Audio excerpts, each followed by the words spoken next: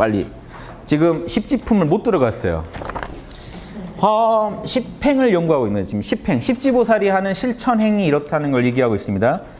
자, 보살 마하살은 모든 중생들이 모두 이원성에 집착하는 것에 대해 이원성에 집착하는 것에 대해 큰 연민에 안주하면서 이와 같이 정멸의 법을 수행한다. 단 하나인 본성에 들어갔다는 게 이원성을 초월했다는 얘기죠. 근데 중생들은 이원성 세계 속에서 못 벗어나더라. 그걸 안타깝게 여기고 그 연민의 마음을 절대 버리지 않고 중생 구제하겠다. 모든 중생의 아픔을 함께 아파하는 슬퍼할 삐자죠. 중생의 아픔을 함께 슬퍼하는 마음으로 안주해 있으면서 그러면서 정멸법을 수행한다. 그러면서 열반에 들어간다. 이 열반이 그냥 열반이 아닌 거죠. 소승의 열반이 아니고 대자 대비를 버리지 않은 열반이기 때문에 늘 열반이면서 동시에 늘 보세요. 늘 열반이라는 게 보리의 부분이고요. 늘 대자 대비를 잃어버리지 않는 건 중생성의 부분이에요. 보리 살탕. 그래서 보살입니다. 부처님보다 이 보살 개념은요. 초기 불교 때 부처님 개념보다 큰 개념이에요. 그래서 부처님 개념이 다시 정립되는 거죠. 대승에 오면. 예, 초기 개념, 초기의 부처님 개념은 열반에 들고 끝나는 존재잖아요. 그런 존재가 아니라고요. 그래서 부처님의 열 가지 힘을 얻어서 십지보살은 부처님이나 갖고 있는 열 가지 힘을 얻었대요. 그럼 부처님이에요. 부처님으로 분류됩니다. 십지보살은. 그래서 인드라망이 제석천이의 무기예요. 그물. 인드라신의 그물. 인드라신이 제우스 신과 동급이죠. 인도의 제우스 신이었는데 불교가 들어오면서 자꾸 제석천을 무시해요. 아라한들만 어디 움직여도 막 쫓아다니는 그런 존재로 무시해 놨는데 엉터리죠. 그건 불교의 편견입니다. 어, 제우스 신 같은 존재, 인도 최고의 신이에요. 그 인드라 신이 갖고 있는 무기가 인드라 망도 있고 금강저도 원래 인드라 신 무기예요. 벼락치는 도구예요. 제우스가 벼락치는 그 신이죠.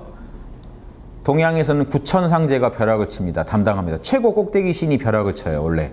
인도 최고 꼭대기 신으로 벼락치는 도구가 금강저예요.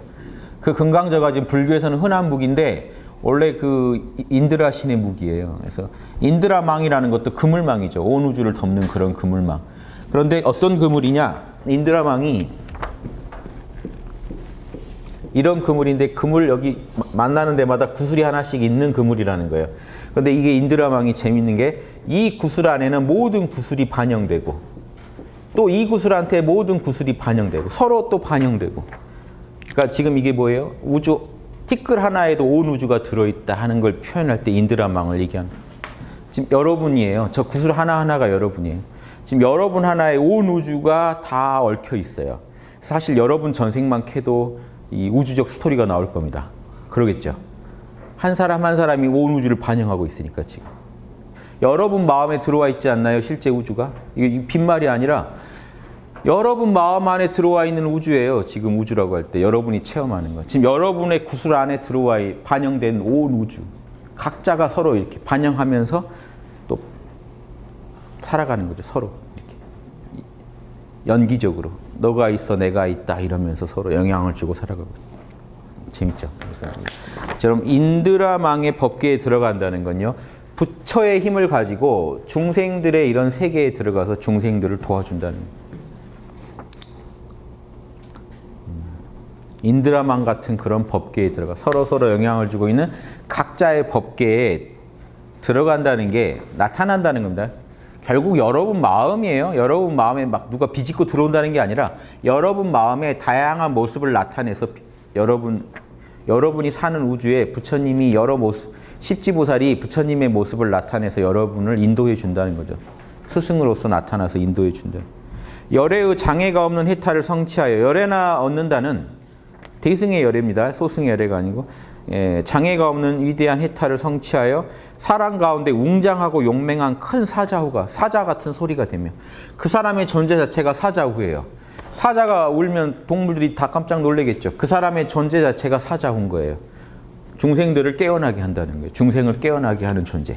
여러분 이 우주에 존재하시려면 사자후로 존재하시 여러분의 존재만으로 가족들이 막 긴장하고 이게 아니고요.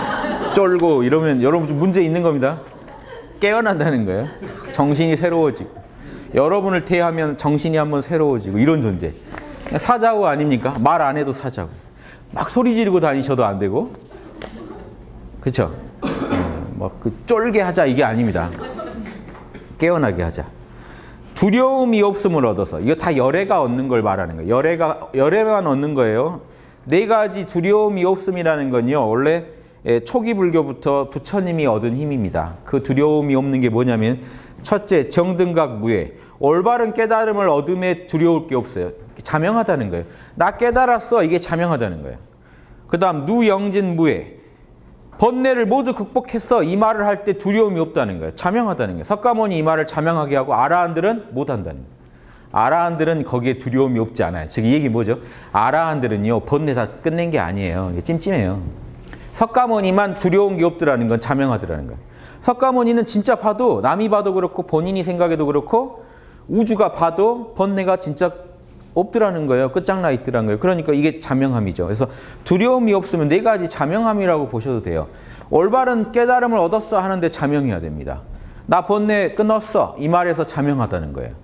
또 설장법 수행에 장애가 되는 법을 얘기할 때도 자명해요.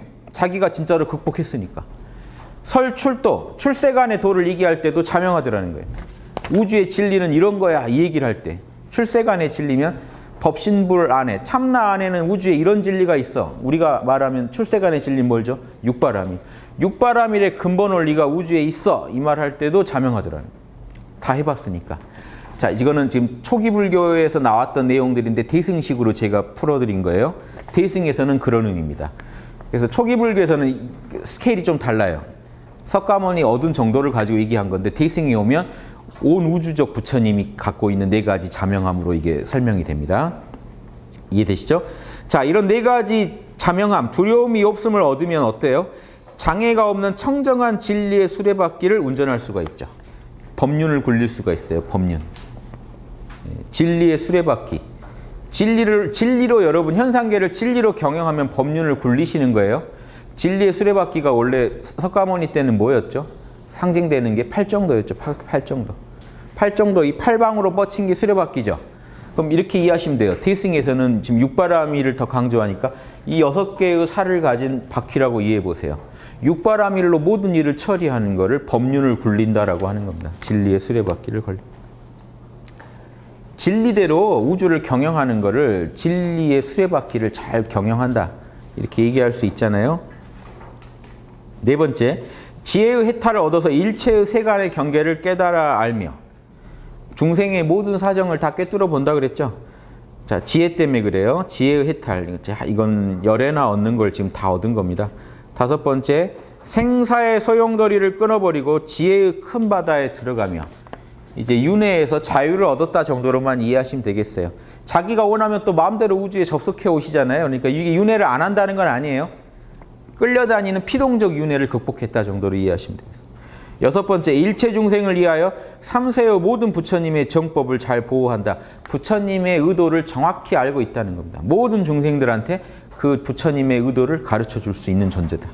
일곱 번째, 일체 부처님의 진리의 바다의 실상의 근원에 도달한다. 말이 어려운데 일체 부처님도 결국은 뭐죠? 일체 부처님도 이 육바라밀의 이 진리일 뿐이에요. 진리 덩어리. 예, 부처님을 정확히 이해하고 있다는 거예요. 진리의 근원이 뭐겠어요? 육바라밀이요. 근데 제가 아까 말씀드렸지만 육바라밀 그럴 때는 참나와 에고의 협업을 얘기하니까 엄밀히 말하면 육바라밀의 근본 종자들을 지금 근본 실상이라고 보면 맞아요. 바라밀은 이미 작용의 의미가 있으니까. 그렇죠? 이미 베풀었으니까 질, 법신이 육바라밀 덩어리다라고 할 때는 그런 육바라밀의 작용을 일으킬 수 있는 그런 능력과 지혜가 꽉 차 있다는 얘기로 이해하시면. 구체적으로 시공간 안에 펼쳐진 건 아니니까요. 육바라밀이. 예. 펼쳐질 때는 바라밀이라고 하자는 거죠. 펼쳐질 때는 바라밀. 참나 상태에 내재되어 있는 것은 근본 실상. 펼쳐지면 바라밀. 이렇게 구분해서 얘기하자. 그런데 그럼 우주는 육바라밀을 그럼 못하느냐? 아니죠. 육바라밀을 늘 구현하고 있죠. 다만 참나 차원에서 얘기할 때는 지금 바라밀이라는 건 현상계 구현된 모습이니까 그걸 구현시키는 능력과 지혜의 덩어리라는 의미인 거죠. 그래서 이 근본 근원 육바라밀의 근원이 출세간의 진리고 거기가 법신불의 법신불이라고 할 때 그그 그 법에 해당되겠죠. 다르마. 근원적인 다르마. 저는 뭐라고 부르나요? 이 근원적인 다르마는 근본 실상 이라고 부르고 그게 바람이를 통해 표현될 때는 뭐라고 하죠? 예, 보편 법칙.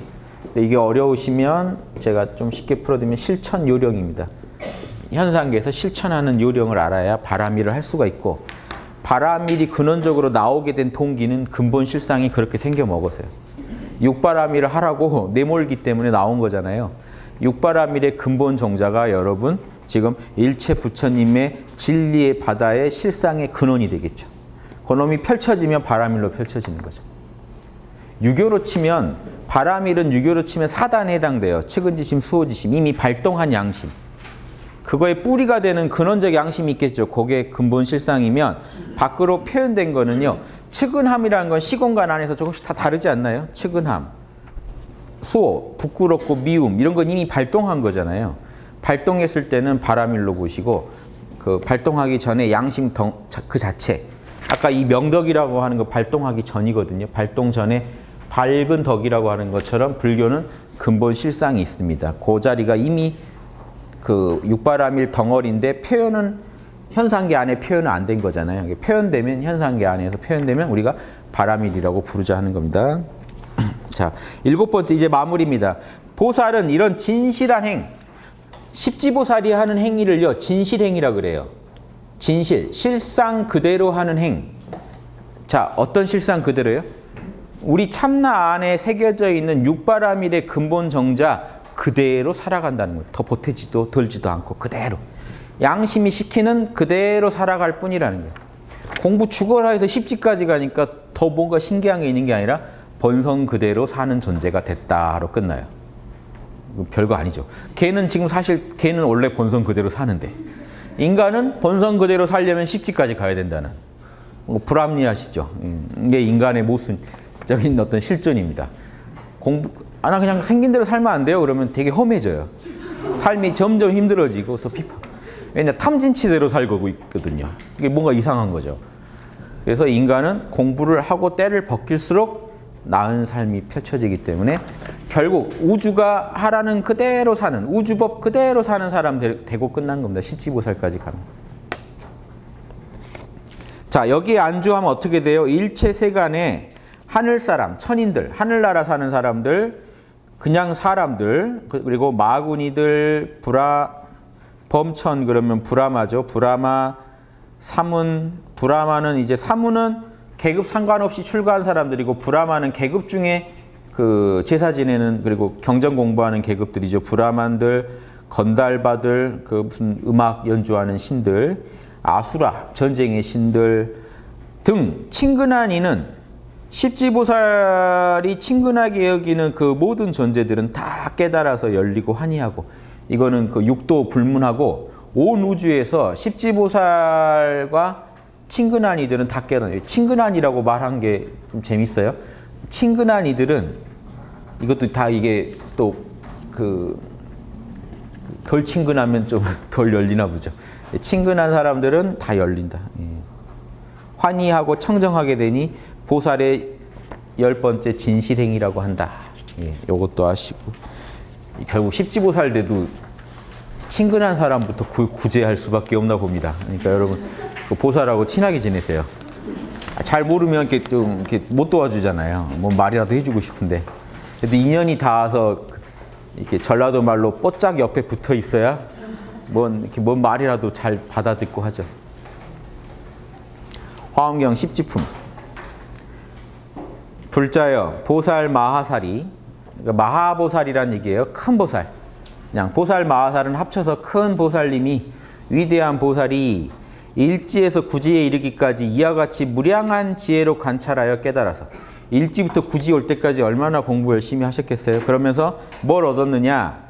이걸 깨달아야 이제 십지에 들어갑니다. 잘 사유하고 닦아서 익히며 생각을 잘 정리하셔야 돼요. 생각을 잘 정리해야 하는 게 사유하는 거고 자기가 결론 낸 자명한 거를 반드시 심신으로 익혀서 내 것으로 만들고 동양에서는 학이 시습지 그러죠. 배운 거 또 그걸 익히고 광명한 진리를 잘 완성하며 실제로 해보고 내가 그 공덕을 닦아서 육바람이를 실제로 해보고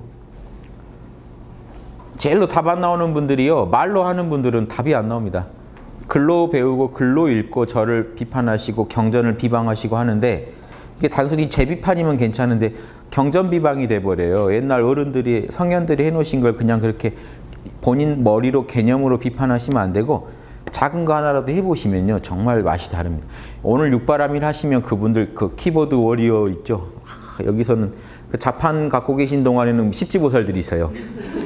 근데 그 자판 넣고 돌아서면 그 집안에 제일 문제아들이기가 쉬워요. 그러니까 집에서 한번 해보세요. 실제로 육바람일을 조금만 해보시면 이 반찬이 달라지고 분명히 달라집니다. 가족들 눈빛이 달라지고 낯빛이 달라집니다.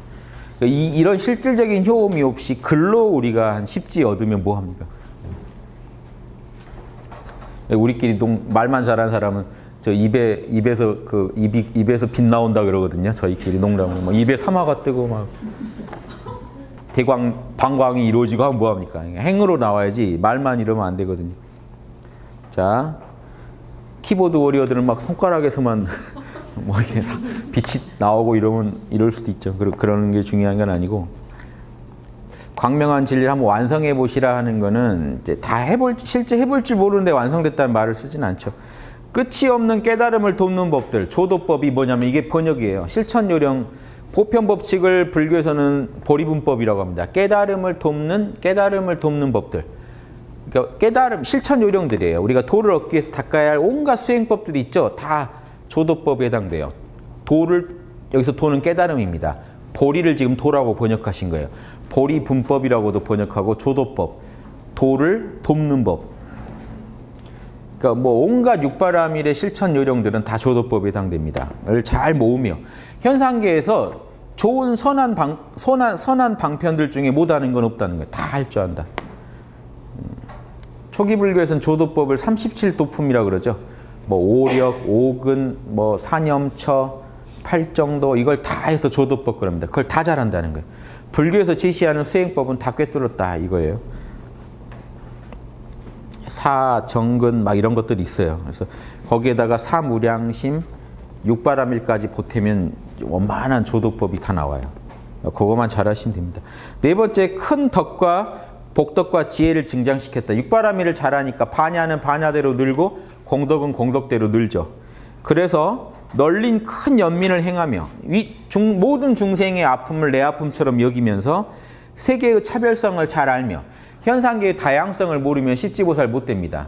그 3계 왕이 못 돼요. 중생을 어떻게 경영해요? 중생들 처지를 모르는데.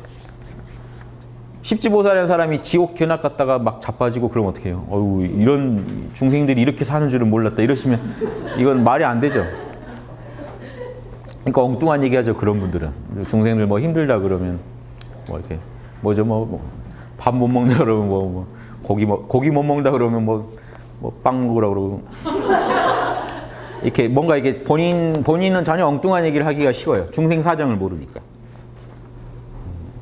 자기는 늘 룸 다니면서 중생들 힘들다고 그러면 그 아우 왜 그렇게 이성에 집착해 막 이러고 그러니까 자기 사는 세계랑 지금 그 다른 중생 세계를 모르니까 이번에 그 뭐 개, 개, 돼지 발언이 나오는 거죠. 그런 분들은 진짜 다른 세계에 살고 있지 않을까요? 자기 사는 세계에서 일반 사람들은 사실 안중이 없고 너무 다른 차원의 세계에 살고 있는 거죠.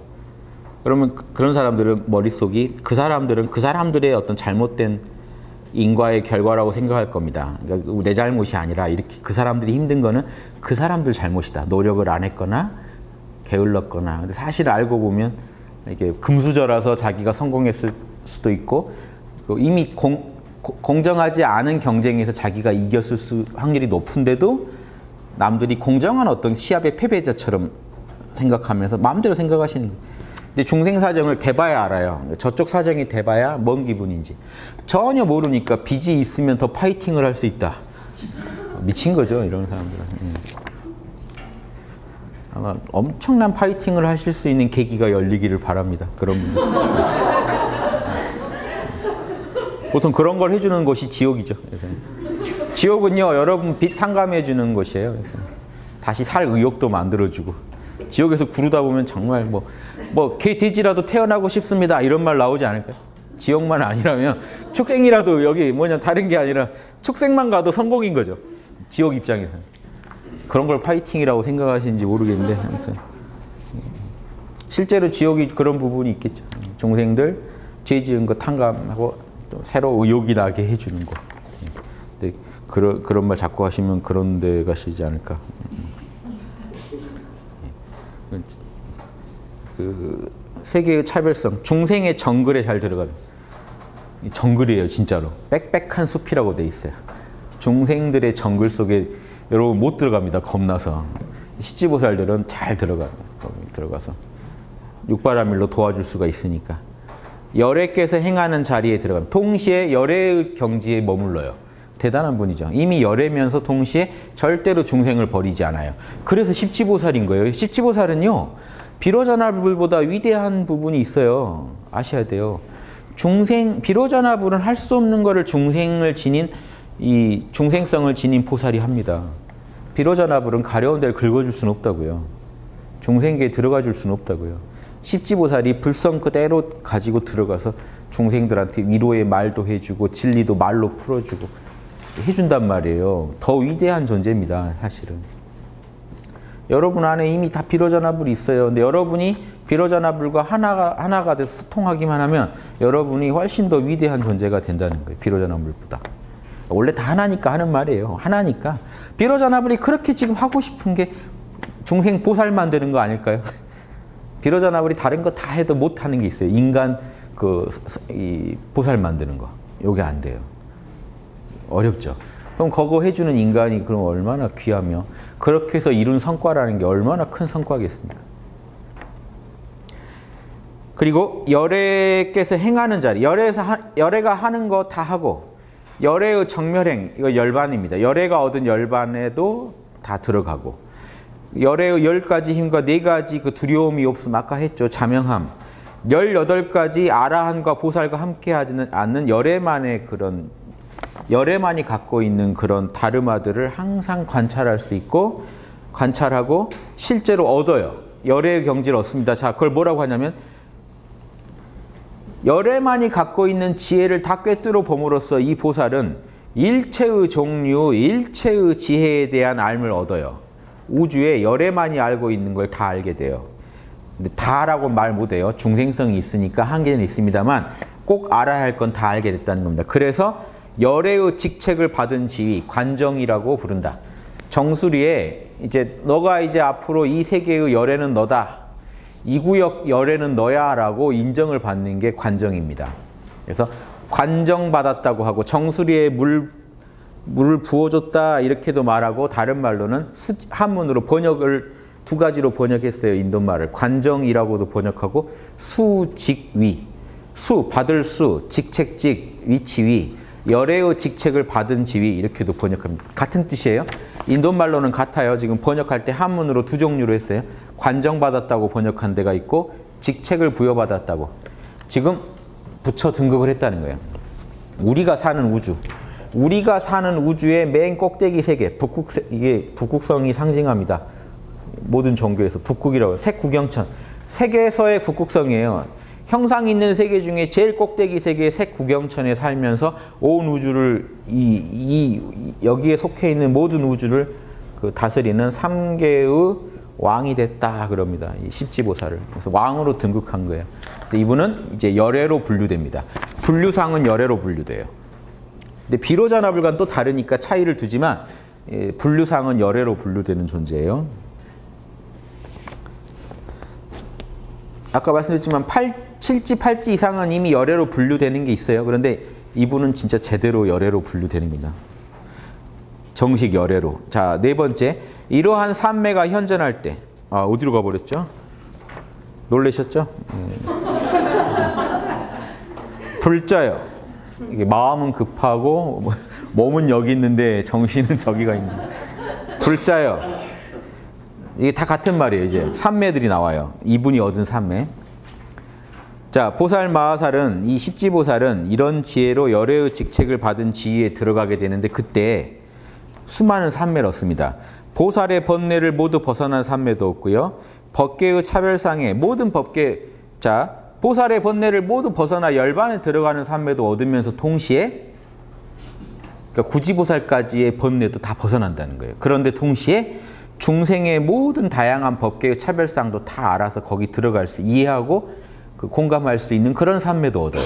그러니까 그 열반의 자리에서 모든 온 우주의 그 타락한 모습, 밝은 모습 다 이해할 수 있는 삼매도 얻고 장엄한 도량의 삼매. 그게 도가 구현되면 어디까지 밝아질 수 있다는 것도 정확히 구현할 수 있는 삼매.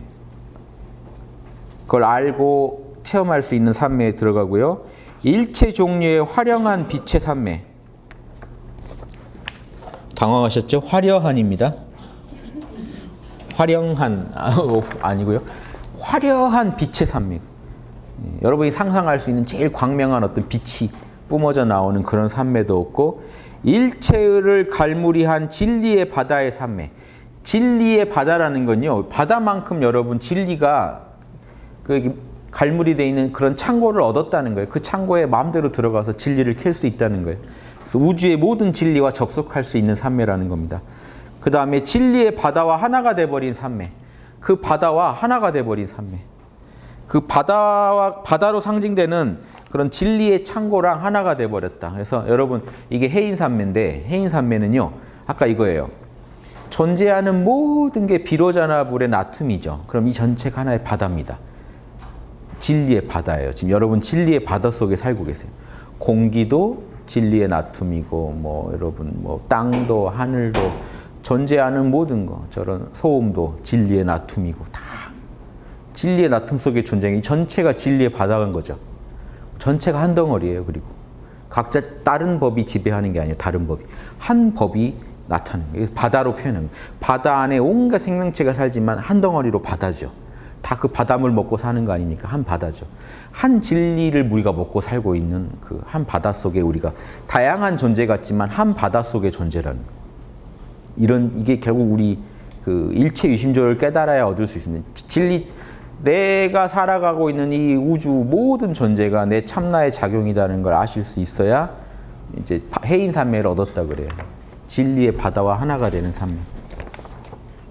이런 거 한번 해보세요. 좀 앉아서 몰라 하면서 전체랑 어떤 벽도 세우지 마시고 다 또 다른 나의 나라고 여기시면서 또 다른 나의 모습이다 하면서 참나 자리도 느끼고 현상계도 느끼면서 얻는 거죠. 참나만 느끼시면 몰라요. 참나도 없고 현상 참나 자리에서 현상계를 바라보면서 참나가 50% 이상 비중만 차지하시면 현상계 전체가 진리랑 둘로 보이지 않고 움직이는 게 있어도 동시에 그러니까 구름은 떠다니는데 하늘은 여여하듯이 진화는 여여하고 참나는 여여한데 그 참나의 작용으로 생각, 감정, 오감은 이렇게 요동하고 있는 이 전체가 한 덩어리처럼 느껴지시면 그 해인산매를 체험하십니다. 그렇게 해인산매를 명상 중에 한번 느껴보세요. 모든 게 나랑 둘러보지 마시고 그러려면 몰라를 잘 하셔야 돼요. 너는 뭐다 나는 뭐다 자꾸 쪼개시면 바다로 안 보이겠죠.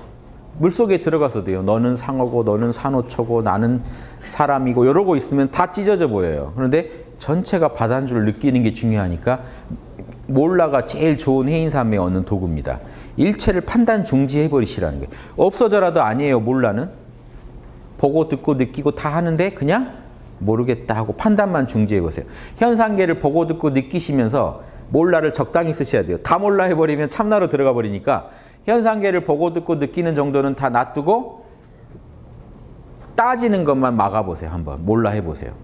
그럼 지금 이대로 우주랑 나랑 둘이 아니고 내가 우주의 바닷속의 존재라는 것도 아실 거고 그 근원은 참나자리라는 것도 아실 거고 몰라만 하고 계십니다. 보고 듣고 느끼는 거는 거부하지 마시고 그걸 거기에 대해 이름 붙이는 것만 몰라 해보세요. 그럼 느낌이 다 다르게 느껴집니다. 오감이, 생각이, 감정이 다 일어나게 두고 내가 거기에 끌려가지만 말고 몰라만 하고 느껴보시면 음, 뭐 그런 산매가 있습니다. 원래 여러분 마음이라 그냥 그렇게 쉬고 계시면 느껴져요. 그렇게 원래 별거 아니에요. 여러분이 그냥 안 따지고 계시면 그렇게 느껴지게 돼 있어요. 원래. 그게 원래 그게 실상이니까. 억지로 생각을 하셔야 되는 게 아니라고요. 잘못된 단체들은요 가면요 상상을 하게 만들어요. 온 우주가 너랑 둘이 아니니라. 저 구름도 너랑 둘이 아니니라. 아무리 봐도 둘인 것 같은데. 둘이 아니니라. 근데 둘인 것 같은데 둘이 아니라게 아니라고 하게 하려니까 야 너 구름 없이 살 수 있어? 막 뭐라고 따집니다. 그러면 그것도 맞는 말이요. 구름이 너니라. 또 아닌 것 같고. 막 이런 게 아니고 뭘 하고 계시면 전체가 하나로 느껴져요. 저 구름도 내, 마음의 오감작용인데. 실제 여러분 뇌작용이에요. 어, 조용히 쉬고 계시면 전체 뇌작용이요. 다 내, 내 뇌에서 일어나고 있는 작용이구나 하는 게 느껴지게 돼 있어요. 원래 사람은. 그걸 해인산매라고 하는 거예요. 실제는. 그뇌 뇌 작용을 일 정신 작용을 일으키는데 하드웨어는 뇌지만 내면에서 정신이 그 소프트웨어로 들어 있는 거죠. 근데 그 정신에서 일어나는 일을 초연하게 보고 쉬고 계시면 정신의 광원이 참나고 그 빛으로 여러분 마음이라는 홀로그램 마음 작용이라는 홀로그램 작용이 펼쳐지고 있다는 게 그 광원과 홀로그램이 둘이겠습니까? 광원이 참나고 홀로그램이 꿈일 때는 잘 느껴지시죠? 꿈이라는 홀로그램이 내 마음에서 일어났다. 지금도 똑같이 일어나고 있다는 걸 아셔야 돼요. 여러분 뇌 속에서. 모른다 하고 쉬시면 느껴지게 돼 있어요. 일체 모든 것을 다 모른다 해버리면 참나로 돌아가실 거고 현상계를 남겨두고 모른다를 적당히 쓰시면 분별만 끊어진 채로 현상계랑 둘이 아닌 상태로 존재하실 거고 요건 여러분이 조절하기 따라 다, 다양하게 느끼실 수 있습니다. 그래서 이런 산매 저런 산매 십지보살도 다 얻는다는 거예요. 자, 광대한 허공계의 산매. 실제로 이제 일체계 일체가 끊어져 버리고요. 광대한 허공만 펼쳐지는 산매도 있습니다. 또 일체의 진리의 자성, 근본 실상을 관찰하는 산매. 그 산매에 들어가면 내 안에 있는 육바라밀의 근본 진리들이 실상들이 선명하게 느껴지는 산매가 있을 거고 또 일체 중생의 마음의 작용을 아는 산매. 이런 마음 저런 마음이 초연한 시각에서 봐지는 공감하면서도 한 걸음 떨어져서 볼 수 있는 그런 산매도 있고 산매인 이상은요 한 걸음 떨어져서 봅니다. 그런데 살인자의 마음도 도둑하는 도둑질하는 사람의 마음도 또 이렇게 막 그 불륜을 저지르는 그 커플의 마음도 느껴지고 다 중생들이 다 할 수 있는 짓이에요 실제 여러분 안에도 그 종자는 다 있어요. 그러니까 이해할 이해할 수가 있어요 실제로. 이해할 수 있다는 얘기는요. 여러분 안에도 그게 다 있어요. 다만 여러분이 거기다 물을 안 줬을 뿐이죠. 누군가는 거기다 열심히 물을 준 사람들이 있어요. 그분들은 되게 여러분 본인을 희생해서 되게 여러분한테 큰 깨달음을 주고 계신 분일 수도 있어요. 이 길로 가면 이렇게 됩니다 하면서 먼 길로 달려간 사람이 있을 거 아니에요. 여러분 제발 이쪽으로 오지 마세요. 저처럼 됩니다 하면서. 그런 분들이에요. 그런 분들. 그래서 그 길로 가면 어떤 일이 펼쳐지는지도 이해하셔요. 이게 지금 여러분 아, 이걸 어떻게 얘기해야 되나 마음 공부를 하실 때 여러분 마음 공부만 하시면 안 돼요. 왜냐 나는 물을 안 줘본 세계가 있단 말이에요. 나는 열심히 안 가본 세계가 있기 때문에 다른 중생 중에 이 우주를 한 마음으로 봤을 때 누군가는 거기에 꽂힌 마음이 하나 있어요. 그 꽂혀서 멀리 간 마음을 관찰, 내 마음인 양 보면요. 또 한 번 공부가 됩니다. 그 길을 거, 여러분이 간접 체험을 하게 돼요. 걸어본 것처럼 느끼면서 여러분이 거기에서 또 이렇게 간접 체험을 많이 하셔야 이 빨리 성장해요 레벨이 영 체험이 경험치가 너무 부족하면 성장을 못 해요. 근데 지금 한 생의 경험을 많이 하는 방법은요 다른 사람 사정을 되게 열심히 듣고 공감해 주는 거예요. 드라마라도 보세요. 할 일 없으시면 뉴스도 보고 케이블 보시고 하면서 다양한 마음들을 공감해 보는 거죠. 그러면 한 생 살아본 것처럼 돼요. 이해되시죠?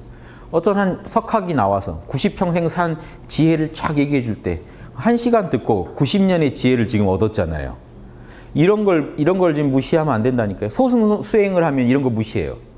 다 무상하도다, 괴롭도다, 내 것이 아니도다. 참나 외엔 다 무시하니까, 열반 외엔 다 무시하니까. 대승보살도 그게 아니에요. 그렇게 해서 중생을 전혀 못 돕고 자기도 못 도와요. 누구 얘기든지 들어보면요. 나랑 정반대되는 의견을 얘기하는, 얘기하는 것도 들어야 돼요. 누군가 물을 이렇게 주면 저기까지 갈 수도 있구나 하는 걸 또 가르쳐 줘요.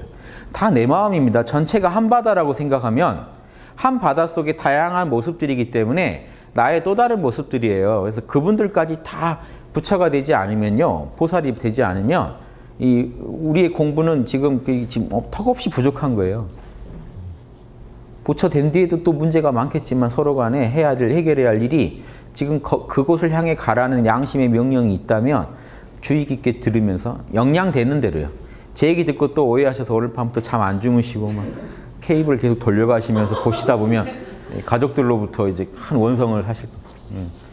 그, 그, 그놈의 그 윤홍식이 죽어야 끝나지 뭐 이런 저한테 이제 저주를 하시게 돼요. 그러니까 그러지 마시고 배우셔야 시간 날 때마다 열어놓고 배우시라는 거죠. 계속 경험해보고 느껴보고 그런 게 부족한 사람들이 민중이 개대지네라는 말이 하는 것 이해를 해본 적이 한 번도 없다는 거죠. 이해하려는 노력조차를 안 했을 거예요 아마. 그렇죠? 그분이 어떤 환경에서 커서 그런 말을 했는지 모르지만 주변에서도 이해할 필요가 없다고 했을 거고요. 예, 또 본인이 나서서 이해하려고 안 했겠죠. 어, 보살도의 반대로 가면 그렇게 됩니다. 보살도로 가면 반대로 가죠. 민중이 나의 또 다른 모습들이에요. 나의 또 다른 가족들이에요. 그러니까 내가 아무리 편해도 다, 른 가족이 지금 굶고 있다면 여러분 편할 수 있어요? 내가 아무리 출세해도 또 다른 가족이 지금 지금 그 힘들어하고 있다면 직업을 잃고 그 발 벗고 주무실 수 있나요? 마찬가지로 가족이 그렇다면 다른 중생이 그렇게 하고 있다면 지금 내가 내가 전혀 모르는 아프리카의 어떤 중생이 지금 자녀를 낳는데 지금 굶어 죽기 직전까지 가고 있다는 걸 느낀다면 이게 괜찮으실 수 있나요? 그래서 이게 분명히 문제가 있죠. 우리 역량이 안 되니까 지금 못 하는 거지 분명히 그 부분에 대해서 우리가 무시할 수 없다는 건 아실 겁니다. 그 정도라도 감각을 갖고 계셔야 돼요. 그러면서 조금씩 여유를 하시, 여유 있을 때 역량 되는 만큼 조금씩 다른 중생도 이해해 보셔야 돼요. 그 이게 수행입니다. 그래서 여러분 요, 요즘은요 혼자 살아도 수행 끝내주게 할 수 있어요. TV 켜놓고 인터넷 켜놓고 글 읽고 공감해보고 TV 보고 하시면요 유튜브 뒤적이시면 어마어마한 경험을 닦을 수 있어요. 자, 다 마음의 세계예요, 여러분. 직접 해본다고 꼭 해본 게 아니에요. TV만 보고 있어도 여러분 하신 거예요, 실제로. 여러분 마음속에서는. 그 카르마가 생겨요. 강도는 좀 다를지 모르지만 지금 이렇게 하셔도 여러분 마음으로 하신 거기 때문에 하시고 나서 돌아가면 기억도 잘 안 나요. TV 본 거랑 여러분 실제로 한 거랑 나중에 보면 막 섞여요. 꿈꾼 거랑 그게 꿈이었는지 실제로 했는지 모르시는 것도 많을걸요. 생생한 꿈을 꾸시면요. 나중에 그 일이 있었는지. 자, 보세요. 나중에 꿈도 아니에요. 하려고 생각한 것도 나중에 꼭 했는지 아는지 몰라요. 왜? 다 마음으로 하는 거라 강도만 차이가 있지 이게 비슷해요. 다 마음으로 하는 거예요. 여러분. 이 육체를 써서 한 것도 제 마음으로 한 거고요. 그냥 마음으로 상상만 한 것도 마음으로 한 거고 책 읽고 다른 사람의 동영상 보고 간접 체험한 것도 마음으로 한 거예요. 마음으로 별거 다 느끼고 해봤어요. 그게 그게 비슷합니다. 근본적으로는 통합니다. 다 여러분 마음에서 일어난 세계 세계니까 일이니까. 그래서 혼자서 하니까 명상 못한다, 육바람을 못 당다 그런 거 없습니다. TV 켜놓고 나오는 사연들 한번 이해해보고 답도 혼자 조언해주고 해보세요. 별의별 사연 다 나오죠 요즘. TV도 점점 일상으로 들어가죠. 예전에 연예인들이 나와서 멋진 거 보여주다 지금 뭐해요? 연예인들 애 키우죠. 뭐 반일하러 다니죠. 뭐. 연예인들이 일상화되고 또 일상의 사람들이 주인공이 돼서 일상의 다양한 사연들을 소개해 주죠. 그 보고 계신 것 자체도 그냥 보지 마시고 예. 육바라밀의 마음을 깨어서 보시면 그 자체가 다 지금 원래 명상하고 해야 될 일이 그런 거예요. 그럼 예전에 성자들은 지금 명상에 들어서 중생계의 마음을 다 이해했다. 뭔 말이죠? 예전에 성자들은요 명상에 들어가서 TV 신나게 보신 거예요. VR, VR 끼고 온갖 중생의 세계 다 들어가 본 거예요. 지옥 들어가 보고 올려다보고 VR 끼면 진짜로 내려다보고 올려다보면 다 실감 납니다. 제가 그 자각몽 꿀 때 느꼈던 걸 똑같던데요. VR 끼고 보니까 느낌이 똑같아요. 다 마음이 겪는 일이에요. 그것 또한 VR로 겪거나 유체 이탈에서 겪거나 지금 여러분 저 보고 계신 것도 명상 중에 보나 이렇게 눈 뜨고 보나 다 마음이 하는 거기 때문에 명상 중에 신통한 거 나올 거 생각하지 마시고 눈에 뵈는 거나 잘 지금 눈에 뵈는 눈에 들어오고 오감에 들어온 거나 잘 섭렵하세요. 이것도 이것도 이해가 안 되는 정보가 처리 안 되는 분이 명상 중에 센 거 나오길 기대합니다. 그거는 그건 처리하실 것 같으세요? 못 해요. 지금 이거랑 명상 차이도 구분하지 마세요. 다 똑같은 현상이라니까요. 다 참나의 작용이에요, 똑같이. 저는 아예 나중에 공부하다가 생각이 거기까지 가니까 그 말이 너무 자명하니까 나중에는 제가 명상에서 신통한 거 볼 생각도 아예 안 하고 눈에 뵈는 거 잘하자는 생각을. 눈에 뵈는 거 가지고 양심으로 수작하자. 이게 지금 명상 중에 보는 거나 꿈속에 보는 거나 생시에 보는 거 다 똑같아요. 마음으로 하는 건 다 같은 카르마를 발생하게 돼 있습니다. 조금씩 차이가 미세하게 있는 거지 근본적으로는 다 같은 일이에요. 예. 그걸 깨달으신다는 거예요. 십지보살 가면 그런 게 다 사정이 분명해지는 겁니다. 그래서 일체 그러면서 일체 중생의 삶만 아는 게 아니라 일체 부처님께서 모두 현존한다. 늘 부처님과 함께 한다는 건요. 늘 진여 속에서 참나 속에서 머무는 삶에도 얻는다. 예. 예. 늘 부처님이 눈앞에 있다. 이런 삶매를 얻었다 하는 이 양반은 뭐죠? 자나깨나 늘 참나랑 함께 살아간다는 얘기예요. 그, 그 산매를 이렇게 표현한 겁니다. 본연 산매를 말하는 거예요. 이와 같이 백만 아승지의 산매가 모두 앞에 나타난다. 모든 산매를 다 얻는다고 했잖아요. 십지보살은. 예, 그런 산매를 얻었다.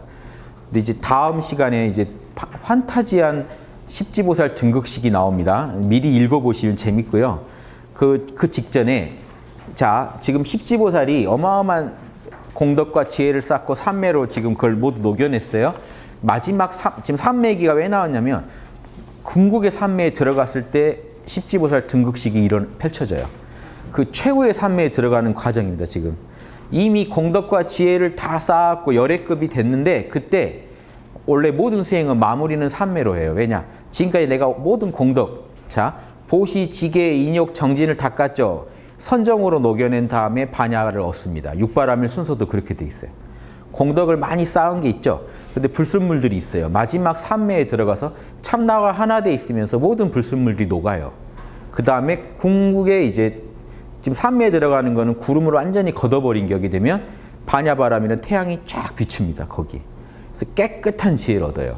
그래서 마지막 열애가 되는 지혜를 얻기 전에 할 일은 삼매예요. 그래서 지금 삼매를 그 모든 삼매의 달인이라는 얘기를 하면서 마지막 보세요. 포살은 이런 일체의 삼매에 들어가고 나옴에 모두 좋은 솜씨를 얻으며 또한 일체의 삼매의 차별상을 잘 깨닫는다. 온갖 다양한 삼매의 그 맛을 다 안다. 그런데 보세요.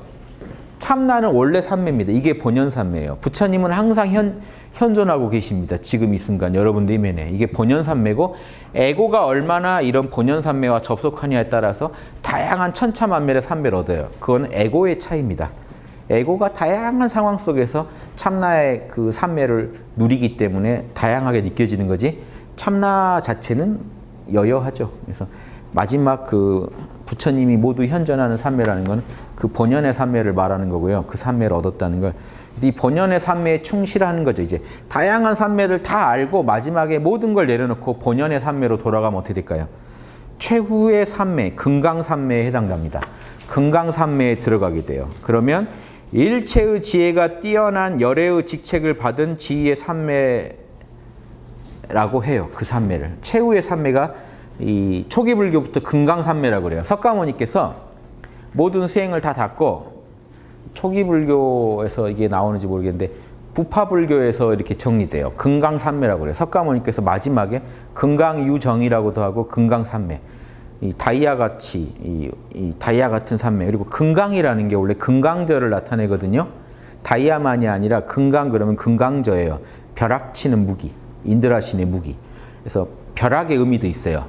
그래서 금강 반야바람 일경 그러면 다이아 같다는 건 오히려 부차적인 뜻이고 원뜻은 금강저예요.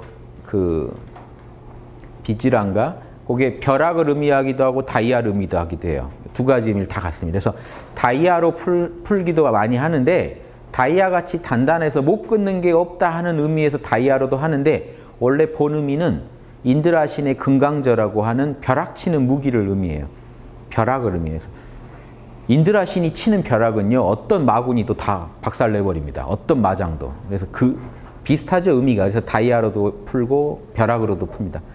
그래서 금강경을 벼락경이라고 푸는 분도 계시잖아요. 벼락경. 벼락이 더 와닿기도 하죠. 그러니까 지금 지금 금강산매라는 거는 그런 벼락으로 완전히 불, 말을 다 끊어버린 산매, 온갖 번뇌는 다 작살내버린 산매. 이렇게 이해하셔도 되고 아무튼 다이아 같은 그런 힘으로 모든 번뇌를 끊어버린 산매 이렇게 이해하시면 되겠어요. 금강산매 마지막에 완전히 끊어버렸다는 겁니다. 그러면 이게 부파불교 때는 확실히 이게 정립이 돼요. 금강유정에 들어간 다음에 얻는 지혜가 무상정등 정각을 얻으세요. 최고의 깨달음. 그래서 최고의 깨달음 얻기 전에는 반드시 금강산매에 들어가야 된다는 게 불교의 기본 도식입니다. 그래서 지금 화엄경에서도 마지막 최후의 산매, 지금 금강산매라고 말은 안 했지만 거기에 들어가는데 그 산매 이름을 금강산매라고 안 하고 뭐라고 불렀죠? 화원경에서는 예. 일체의 지혜를 얻어서 열애의 직책을 받는 산매. 그 산매에 들면 이제 열애 열애가 되는 산매. 예, 그 산매라고 부른 거예요. 능가경 같은 경우는 금강산매를 통해 십지에서는 그걸 못 얻고 십지가 금강 십지를 이미 이룬 뒤에 금강산매에 들어가지고 십이지 부처가 된다 이런 식으로 능가경이나 유식학이나 이런 이론들은 대승기 신론을 얘기하고요. 화엄경은 십지가 될 때 금강산매에 들어가서 십지로서 정식으로 십지보살이 되면서 관정을 받아요. 그래서 구지에서 십지 되는 과정입니다. 구지보살이 이렇게 수행을 해가지고 지금 십지 관정이가 된다 하고 얘기를 하는 거잖아요. 십지보살이 되면 이미 관정이에요. 그러니까 구지가 십지 될 때의 모습입니다. 구지가 십지 될 때 구지가 끝내주는 삶에 다 들어간 다음에 정식으로 십지가 될 때 이제 관정에 도달한다. 그러니까 그 좀 스토리가 좀 다르다는 거 아시겠죠? 그래서 지금 이 관정이가 되는 게 열애의 직책을 받은 자리고 거기는 그, 그 자리가 십지보살이다. 그래서 그 앞에 얘기는 이제 정식 십지보살이 아니라 이제 십지보살 정도 이제 될 십지보살 자격을 정식으로 받을 정도로 공부한 보살을 말합니다. 앞에서 앞에서 말한 십지보살은 예, 그러니까 그 보살 마하살이 열 가지 이런 닦음을 잘 닦으면 이제 관정이 열애의 직책을 받게 된다 이렇게 첫 문단에서 얘기했었죠. 두 번째도 그런 그 정도 보살은 그런 십지의 경지에 이른 보살은 이런 삼매를 잘 드는데 마지막 최후의 삼매 때 십지 공식으로 십지 자격을 부여받는다. 이 정도 이해하시면 되겠습니다.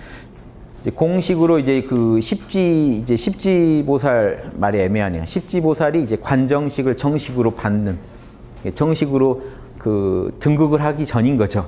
그 십지보살이 제대로 된 십지보살로서 등극하는 장면이 펼쳐지는데 이제 아, 아주 판타지합니다. 오주에 모든 보살들이 와서 찬양해주고 구지보살들이 다 와서 축복해주고 온 우주의 십지보살들이 다 와서 가슴에서 막 빛을 쏴주고 그럼 그 빛이 또 그 보살 가슴으로 들어오고 마지막 어, 또 마지막으로 온 우주의 부처들이 다 와가지고 원래 비로전화불밖에 없죠. 사실은 다양한 모습의 부처를 묘사하니까 다양한 모습의 부처들이 와서 정수리에서 빛을 쏴서 정수리에 쏴주면 그거 다 하면 온 우주가 그때만큼은 지옥도 밝아지고 다 온 우주가 지옥 축생 아기가 다 예, 그 행복해지면서 십지보살에 등극을 합니다.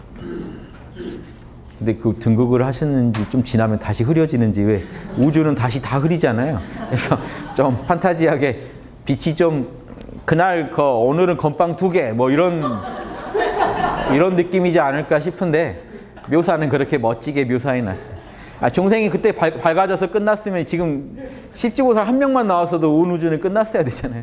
예, 그건 아닌 것 같고 오늘은 특별히 건 빵 두 개 뭐 이런 건지 모르겠어요. 아무튼 그, 그, 그때만큼은 아무튼 그 원래 뭐 임금이 등극하면 죄인들 사면해주고 하듯이 그, 그때만큼은 지옥까지도 고통, 오늘은 고통 면제, 오늘은 형 처벌 없습니다. 뭐 이런 느낌으로 쫙 한번 밝아진대요. 그래가지고 온 우주의 왕이 등극해요.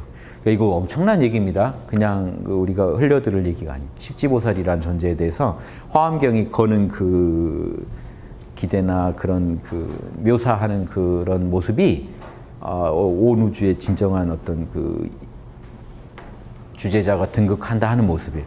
그러니까 이런 게 불교에 이런 게 없다고 생각하는 분들 많아요, 실제로. 엄청난 스토리입니다. 그래서 제가 그거를 귀찮아도 일일이 번역했어요. 산스크리트본 그 번역본하고 이렇게 기존 한역본 다 참고해 가면서 한역본들이 묘사하는 게 많이 좀 그 어색한 게 있더라고요. 그래서 그 전재성 박사님이 잘 해놓으셨어요. 산스크리트본을 번역을 다 해주셔서 그거랑 맞춰가면서 제가 한역을 가지고 풀어보면 그 상황이 참 실감나게 그려져 있어요. 그거를 다음 시간에 제가 또 풀어가 보겠습니다. 예, 마치겠습니다.